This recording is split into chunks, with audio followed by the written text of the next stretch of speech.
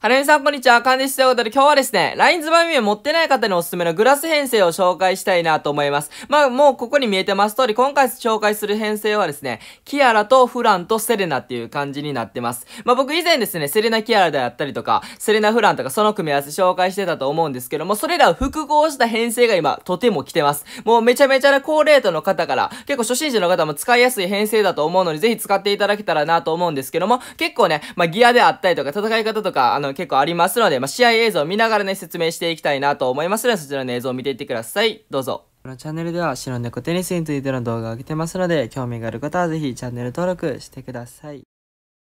はい、というわけで1戦目やっていきたいなと思います。まあ、相手にはもちろんラインズマンミューがいるって感じにはなってるんですけども、まあ、初手はセレナで行ってください。で、セレナに持たせるべきラケットに関しては、まあ、シルビアラケットが一番主流なんじゃないかなと思います。まあ、SS 封印も効かへんし、あと吸収封印も無効化することができるし、あとは SS ゲージプラス10%することができるので、S1 をね、まあ、あの、いざという時にまっすぐ打てるように、まあ、SS を回復することができるっていう点で、まあ、シルビアラケットが結構合ってるっていうのと、あとはあの、スロットスキルに関しては、まあ、交代時でもいいかなとは思うんですけども、初手から使っていくのであればですね、まあ、早くリープを打つために3ポイント取るまで製造カルアップみたいな、そういうのをつけていただくといいんじゃないかなと思います。まあ、もっといいのは、雪属性のキャラが3ポイント取るまで製造火力プラス25%で、まあ、それ以降もプラス10%ってやつの方が好ましいんじゃないかなと思います。で、これね、今相手吹っ飛んだでしょ。これどういうことかっていうと、セレナがリープしたとかに、時に、なんか残す羽みたいなのがあるんですよ。その羽をフランが取ると、まあ、爆発、フランじゃなくても、まあ、爆発はするんですけど、それとフランの相性が結構いいんですね。なんでかっていうと、あの、フランってそういうなんか羽とかドリンクとか、そんなの取ってあげると、ジャスト確定になるんですよ。ジャスト確定になったら、弾が結構長いことね、消え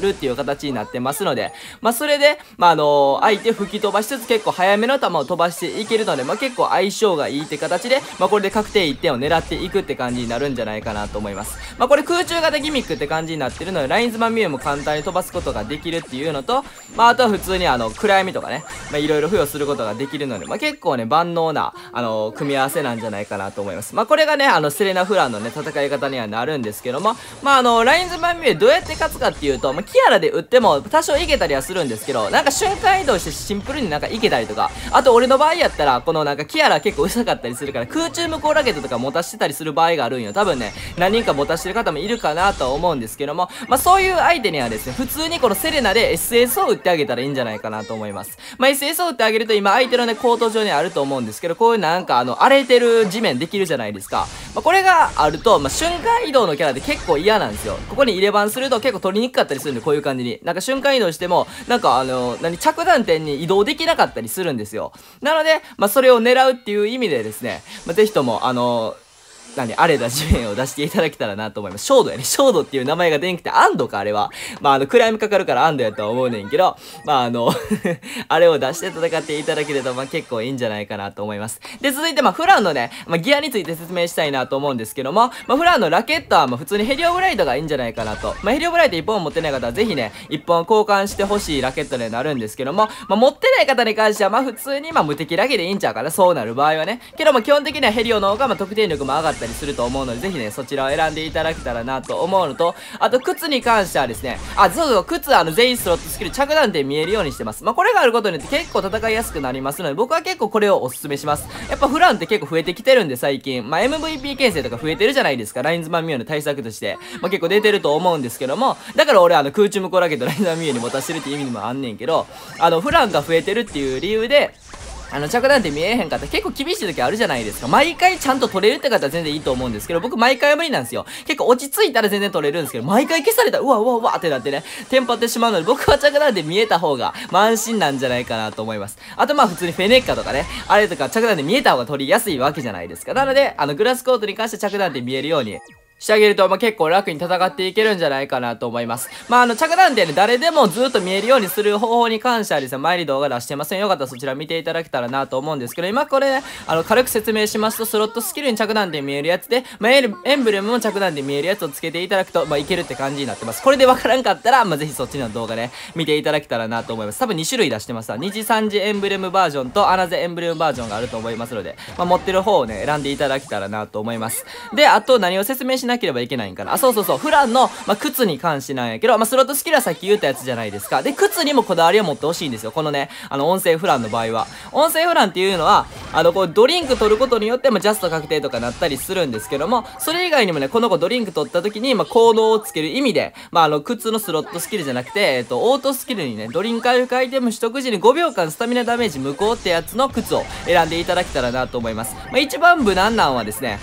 クレイコート用のあの、決戦エレノア靴。まあ、あれが一番無難なんじゃないかなと思います。まあ、でも、一応スピードタイプなんで、あの、なんか、ハードのさ、誰、誰の靴か、多分これもエレノアな気がするんやけど、なんか、ライオンズハートみたいな、そういう感じの名前の靴でもいいんじゃないかなと思います。あれやったらスイングエリアプラス10%っていう感じで、まあ、結構広がると思うので、まあ、そっちを持ってる方は、まあ、そっちでもいいかなと思います。で、えっ、ー、と、なぜこれをつけるかって言いますと、この子身代わりで戦っていく系のキャラじゃないですか。この子特殊状態にならなくても、初めから身代わりついてるんですよ。なので、で SS を極力打たなくてもいいんですね。なので、まあ、あんまり打たないようにするために、このドリンクを取った時に体力を、まあ、5秒間無敵をつけることによって、まあ、あの、SS を打たずに長持ちさせることが可能になってますので、まあ、ぜひともこのようなスロット、あ、その、このようなオートスキルのついてる靴をね、履かしていただけたらなと思います。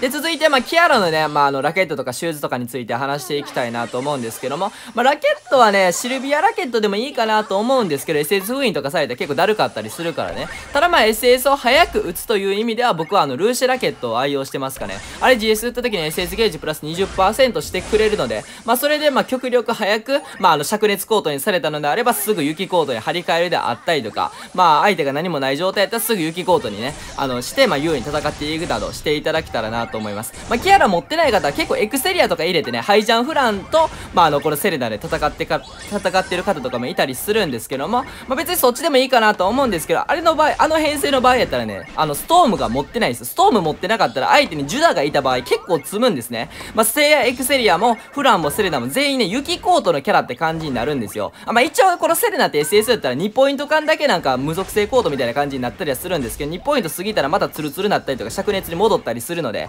まあ、あまりストームとは言えないですよね。なので、まあ、ストームを持ってなかった場合、まあ、結構積んでしまうパターンあるんですよ。体力なんか、え、なくなったみたいなね、パターンあったりすると思うので、まあ、ぜひともストームは一体入れてほしいんですよ。なので、まあ、そういう意味でも、僕はキアラを結構お勧めしますかね。しかもこの子って地面向こう持ってるんで、たまに来るサテラの球遅くしてくる子おるやんか。まああれもまあそこそこ対策できるかなっていう感じで、まあ他のキャラの方がいいかなと思うんですけども、割とまあキアラでも、僕はキアラで戦ってるんですけど、もっと今の編成でどの、どのキャラで戦った方がいいとか分かる方いたらぜひね、教えていただけたらなと思うんですけども、今んとこ僕はキアラで戦ってます。なぜなら地面向こうがついてるからですね。で、続いてまあ3試合目なんですけど、僕が言ってた編成ですね。このあの、聖夜エクセリアリーダーで、まあハイジャンフラン使いつつ、まあフランも、フランじゃあセレナもいるって感じで編成です。まあ、この人ね、ランカーさんなんで、ナンバーなんか30何ぼって書いてたのかな？だからめちゃめちゃ強い人なんですけども、まあ、このような編成でやってる方もいると思いますので、まあ、あのー、何この3体ともオラがあかんってわけじゃないですからね。まあ、あの、この編成が、まあ、結構強いよってだけなんで、まあ、あの、これを参考に、まあ、自分の持ってるキャラで組んでいただいたりとかしていただけたらなと思います。で、まあ、あの、結論から言いますと、この3試合目は負けたんですよ。もうやっぱ強すぎてそれは勝てなかったですね。これ編成が悪いというわけではないと思うんです。多分僕が悪いんですね。はい。なので、ぜひ皆さんは、あの、頑張って買ってください。こういう方にもね。ま別に不利ということはないです。ただただ、まあミラーして俺が負けたって感じでしたね。いや、マジであの、上手い人のセレダって全然勝たれへんから、俺セレダとかそんななんか使ってこなかったんよ。なんか当たったも割と最近で、なんかセレダ全盛期の時代に使うことができなかった人やから、まあ結構ね、あの、使い慣れてないっていう節があるんですよ。なので、まああの、負けてしまったりはするんですけども、まあまあ言い訳っちゃ言い訳やけどね。ただまああの、歴の長い人では負ける傾向であるので、ぜひともいっぱい練習していただけたらなと思います。で、あと、リーダーで、そうそうそう、リーダーの話してなかった。リーダーは、まあ、誰にしたらいいかっていうと、まあ、セレナとかフランとか、まあ、キアラおると思うねんけど、まあ、セレナとフランはスピードタイプじゃないですか。まあ、キングスタイル、フランをキングスタイルにしていた場合、スピードタイプやったらそこまで恩恵感じれないんですけど、これキアラをリーダーにすることによって、ストロークタイプがリーダーになるわけじゃないですか。ストロークタイプがリーダーやったらね、ドリンクを取った時にジャスト2回確定になるんですよ。これ結構良くて、ハイジャの次にいいんじゃないですかね。まあ、1000リガも良かったりするんですけど、相手の SS の蓄積量見えるやつで、まあ、それも良かったりはするんですけど、まあ、この編成の場合はスピードタイプよりもストロークタイプの方が僕は結構おすすめですからね。まあ、ジャスト2回打てることによって、まあ、1回目で相手を後ろに避けて、そっからジャストボレーで決めるとか、そういうパターンも作っていけると思いますので、まあ、ぜひね、あの、このような編成でやっていただけたらなと。まあ、リーダーをキアラにして、まあ、セレナとフランで、まあ、編成で組んでいただけると結構勝ちやすいと思いますので、ね、まあ、ぜひやっていただけたらなと思います。で、この動画、今回のね、3試合の中では収めることができなかったんですけども、まあ、キアラとセレナの組み合わせ結構ね、あの、外役な遠征ありますので、まあよかったらそれで、マイナーの動画出してますので、よかったら見てください。マジで強い。マジ無理ゲーな状況を作り出すことができるので、結構楽しいですよ。で、まあ今日土曜日なんで、まあ土曜日の23時から僕毎週ライブ配信してて、まあ今日もね、しますので、まあよかったらね、来ていただけたらなと思いますということで、これもうすぐ負けるんでね 皆さんとまたお別れしたいなと思います。ということでまた皆さんお会いしましょう。バイバーイ。